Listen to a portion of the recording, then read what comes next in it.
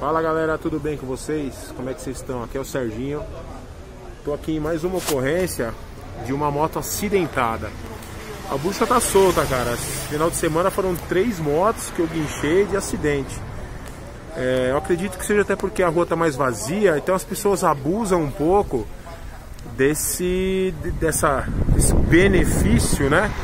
Ah, tá vazia a rua para acelerar, dá para acelerar, dá para andar mais de boa. Então a gente acaba abusando um pouquinho do, do que deveria, ou não nós, como outras pessoas, né? No caso dessa moto que eu vou mostrar para vocês, a pessoa, o rapaz da moto que é amigo meu, ele estava subindo a rua na mão dele, em velocidade reduzida, procurando endereço de boa. A pessoa vinha na mão contrária ela parou para ele passar, mas diz ele que a pessoa não estava olhando para frente, estava provavelmente no celular, no tablet, sabe lá no que. E por fim, a pessoa na hora que ele passou com a moto, a pessoa virou e bateu nele, diretamente nele. Ele estava com o irmão na garupa, os dois se machucaram. A moto danificou bem, eu vou mostrar para vocês o que aconteceu com a moto. E a pessoa tava, tinha uma pessoa mais velha no banco do passageiro e uma pessoa mais nova no banco do motorista que de prontidão já falar, não, nós estamos errados, nós estamos errados, nós estamos errados. Só que como os dois se machucaram e foram para o hospital, eles não conseguiram pegar dados pessoais, não conseguiram pegar os, a placa do veículo, até porque eles estavam sendo atendidos, eles precisaram ir ser medicados e tudo, fazer radiografia, tudo. E ninguém no local fez isso. A PM fez um, um breve relatório que não colocou os dados do carro da pessoa, que está muito errado isso. Deveria ter colocado os dados do carro, da pessoa e os dados da moto junto. Que faz parte do, do acidente, que não foi uma espaçonave que caiu. Não foi uma espaçonave que caiu e derrubou os caras, foi um carro que bateu. Então, infelizmente, é, desculpa ficar um pouco longo esse, esse relato, mas é o que aconteceu. Então vamos torcer para ter um desfecho bom, porque a pessoa trabalha com a moto, é uma pessoa humilde, é uma pessoa que precisa trabalhar, e agora ele tá machucado, o irmão dele zoou os dois pulsos, é, é, é, professor de música, também fraturou os dois pulsos, né, coitado, e porra, são pessoas maravilhosas, uma família maravilhosa, que eu conheço pessoalmente, eu posso falar, e vamos torcer para ter um desfecho positivo aí, que a pessoa tenha seguro, tenha habilitação, que o seguro arque, porque eu vou explicar para vocês o porquê essa moto foi perda total, tá bom? Acompanha o vídeo aí. Vamos lá, galera. Ó, a pessoa que bateu, com certeza, estava distraída e pegou eles em cheio aqui, ó. Exatamente aqui. Por quê? Você vê que aqui tem algumas escoriações, mas não tem nada quebrado e não desalinhou a frente da moto. Por que que pegou aqui, ó? Porque quebrou essa aba, né? Quebrou a parte de espelho, mano, aqui o manicoto, tá vendo a embreagem, pisca, né? Ele que pegou aqui. E pegou no motor. Tanto que, tanto que quebrou aqui essa parte aqui, ó. Quebrou a carcaça. Quebrou a carcaça dessa tampa nessa tampa fica o estator da moto, onde gera energia, carregar bateria, essas coisas, onde ficam as bobinas, né? Então olha o estrago que fez.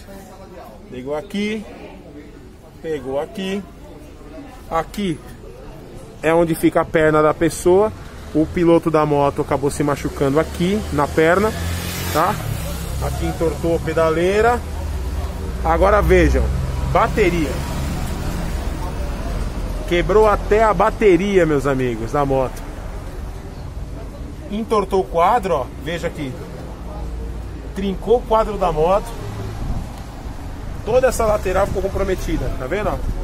Soltou aqui, soltou aqui. Toda essa parte da moto foi comprometida. Mas agora eu vou explicar para vocês o porquê que a moto ficou PT. Vocês conseguem ver? olhem a traseira de acordo com o pneu traseiro. Estão vendo esse desnível, essa, como desalinhou? Tanto que nessa lateral não fez nada. A moto está intacta. Só o retrovisor aqui que, que ficou virado.